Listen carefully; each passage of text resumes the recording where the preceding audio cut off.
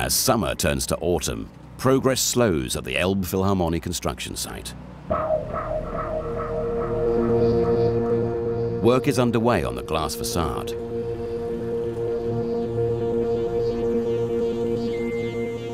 High above the River Elbe, the construction workers must install 1,098 individually designed glass panels, each costing on average around 20,000 euros. But fitting them is proving a bit of a nightmare. Today we have to mount six elements. Uh, we have to mount it in the 26th floor. So um, today it's a little bit tricky because we have normal weather for Hamburg. it's raining, it's very windy. This balcony unit weighs over a ton. Its large service area means the wind could easily blow it out of control.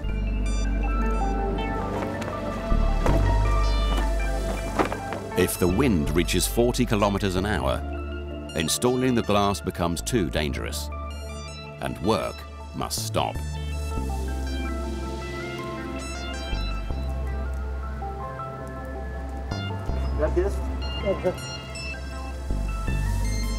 Despite the wind, today the team is on target.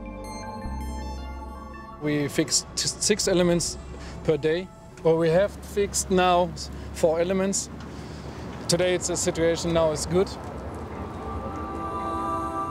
In the same way the architects are striving to give their concert hall the perfect acoustic, they also seek perfection for the building's facade.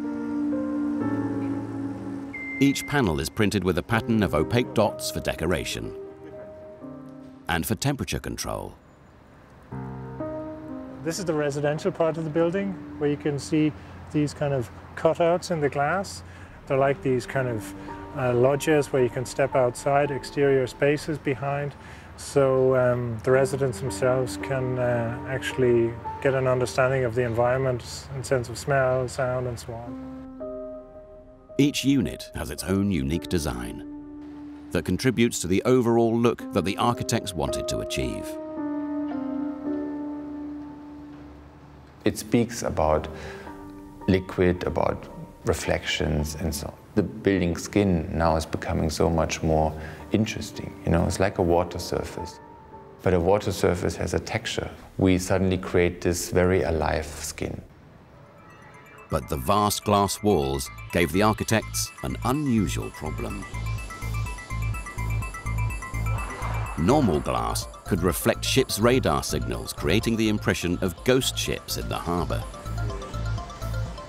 The main problem of building such a large and, let's say, dominant glass element or glass building in the harbour area, especially which ships are coming in and out all the time, is the fact that you have to avoid any uh, radar reflections from glass facade.